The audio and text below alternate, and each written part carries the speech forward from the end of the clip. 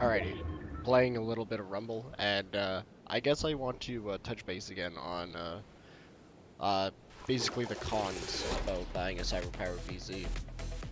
So, first off, I would have to say that customer service is not existent, that they aren't going to help you with any problems that you have whatsoever you have to fight, be on hold all the time. I guess if you call, you might get stuff done, but I always just use email, and I gotta be honest, I never have once got them to do a single thing, even email me back. Uh, next up is the Wi-Fi adapter that they give you for the CyberPower PC is very, very bad, like incredibly bad. It's a TP-Link, and you think it wouldn't be terrible, but it is honestly probably the worst one I've ever used. Any $5 one will be better. Uh, next up, I would say heat, like again, I said that before, is a major issue, uh, mainly because the case only has two small little slits at the front and nothing else, and only has one uh, exhaust fan, which is not enough for a high-end gaming PC, well, higher end. Uh, next, I would have to say the power supply, and the only reason that it's not very good is just because uh, it is a no-name, it has nothing on it. I haven't had any problems with it. I took mine out of my PC and put it into a weaker PC, the Ryzen 3 with the, uh, well, originally it was a Ryzen 3 and a 770 HD, and then it was, uh, 970 and then for a short time it was an R9 380X and then it's a 1060 and now it's the 580 and no problems whatsoever with the power supply. And uh, yeah, but th the problem is that it doesn't have an actual brand name. That's one problem with the CyberPower PC is you never really know what you're going to get. The only two things that you're for sure going to get is the graphics card they list and the processor. So if you're looking at the GTX 1060, you're going to get a GTX 1060 and an i5 8400 for sure, which is a great processor. I can stream on it no problem, I can record on it no problem, rendering with more RAM is fine. Uh, next is you'll get a random, random, random, random, uh, RAM. That's ironic. Uh, I got XPG, I do know other people that got, uh, completely different, but the only positive thing is you never get a no-name, it's never nothing on it, and just the green chip, it will always have a case on it, which in that case, it's half decent. It will either be one 8 gigabyte stick or two 4s. Uh, two 4s is obviously better uh, for rendering issues because you have two different entities loading at the same time rather than just the one. But if you are planning to upgrade to 16, I would suggest if you do get the 1.8 like I did, to just get one extra stick and don't do any more than that. It 16 is more than enough. Ditch this.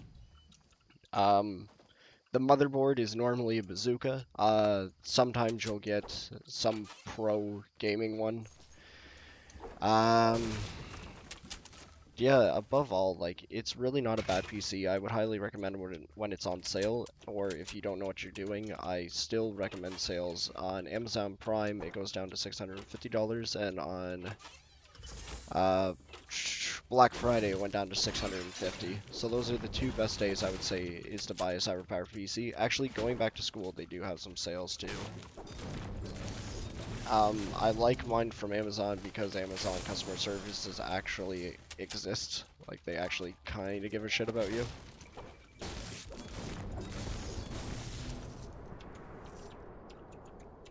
I'll steal this. Mm.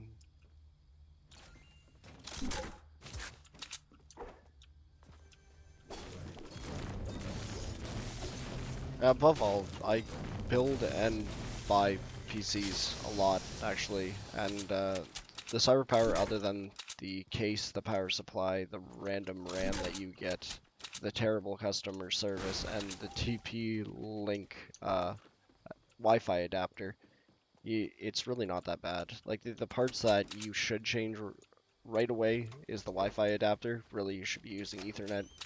Either way, you'll get a... You'll get better internet connection, and uh, the power supply, which you can find a better 500 watt power supply for about 30 bucks on Amazon. Now, everything doesn't need to be replaced right away. You can pop it out of the box and be perfectly fine. The thing will work. But uh, later, uh, if you feel as if you're going to cause damage to your PC for whatever reason, I would highly suggest the power supply being changed, the uh, Intel Core processor uh, fans, the heatsink, that should honestly be changed. Those are two things that would probably set you back 60 bucks, and then you'll have a much more reliable PC in a sense.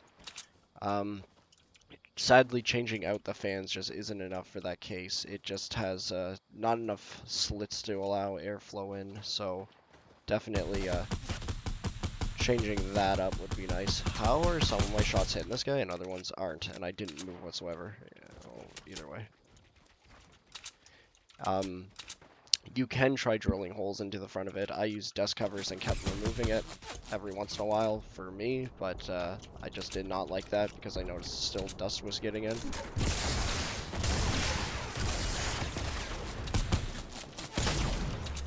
Oh, headshot.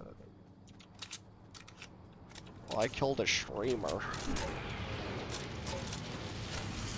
Yeah, but above all, like, right out of the box, I would still highly recommend it. There are just a couple things that are just uh, kind of upsetting. The power supply especially, considering it's an absolute no-name.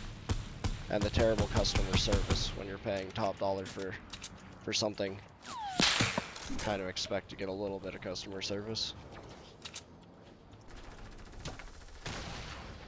Oh, hello.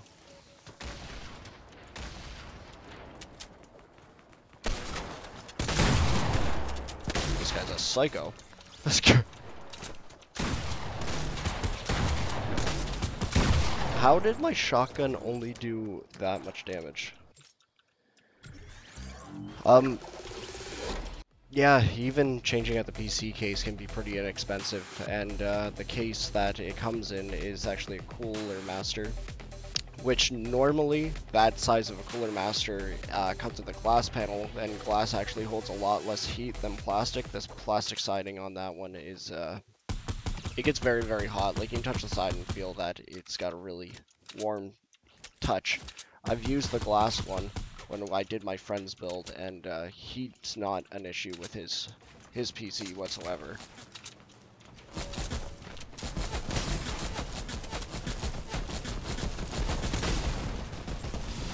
Um, there is also the smaller one that I have, and that one also is fine because there's not as much distance from the front panel to the back panel, so the airflow continuously keeps going. Uh, with the big one that the CyberPower PC gives you, that I imagine is just a cheap knockoff of the original one, they just didn't add the bottom bracket, so they give you a plastic piece.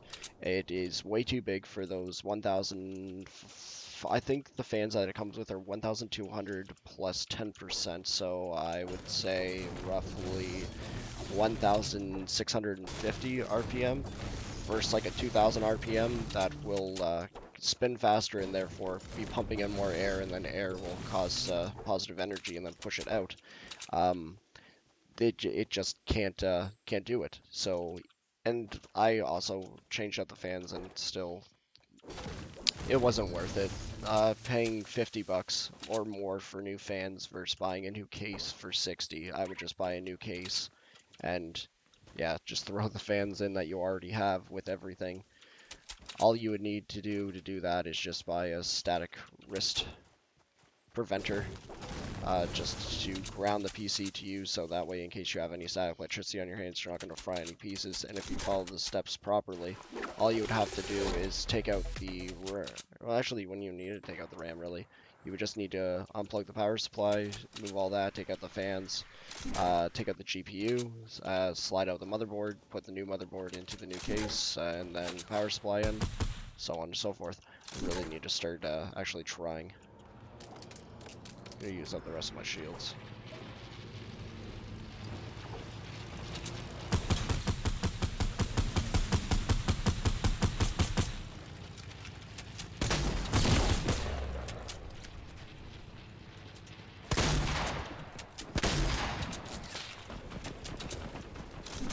Screw up.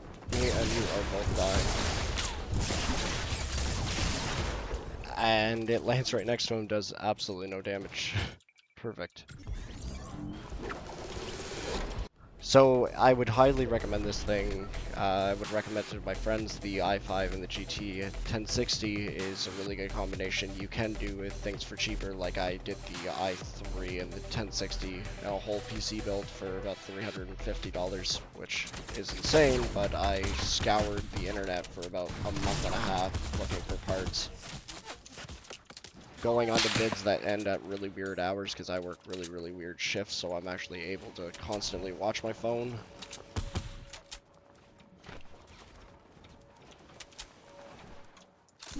Oh, God.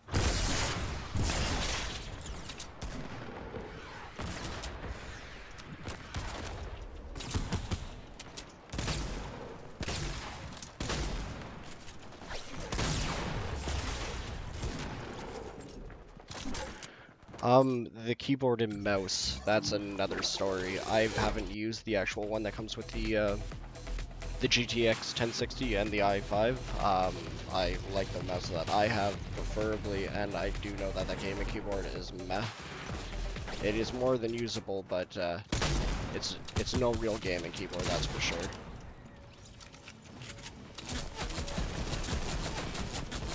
Holy moly, this place is a nut house.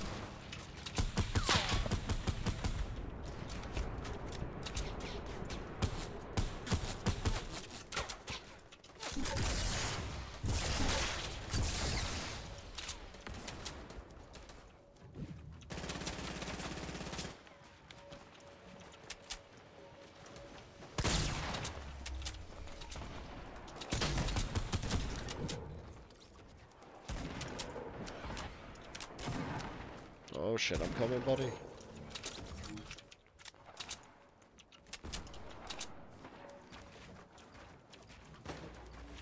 Another good thing about the uh, PC is it comes with a SSD, and they actually put uh, Windows 10 on the SSD. And uh, a lot of people say that building a PC is, uh, oh, it's so easy and blah blah blah. And in fact, it is easy to actually physically put it together. But uh, the hard part is sitting and waiting for an entire day for every single Windows file to be up to date because that freaking sucks. And then nothing is more of a piss off than putting a PC all together, going to power it up, and then it won't turn on. You finally solve that problem, and then it doesn't show a display. You finally solve that problem, and then you have to download all your freaking games. And so on and so forth. It's just, uh, it's a big headache.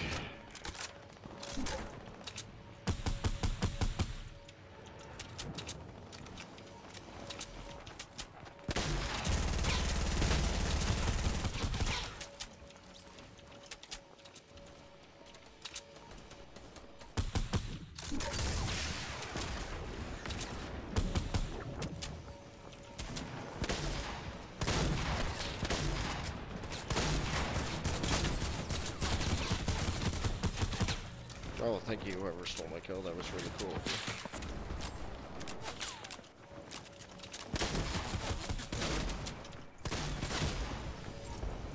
I'm not a big fan of this heavy shotgun in this mode.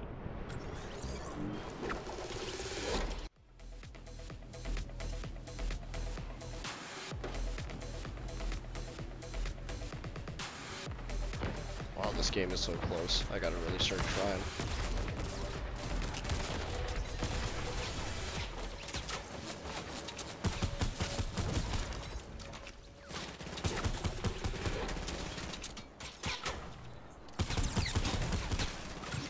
Complete tryhard mode.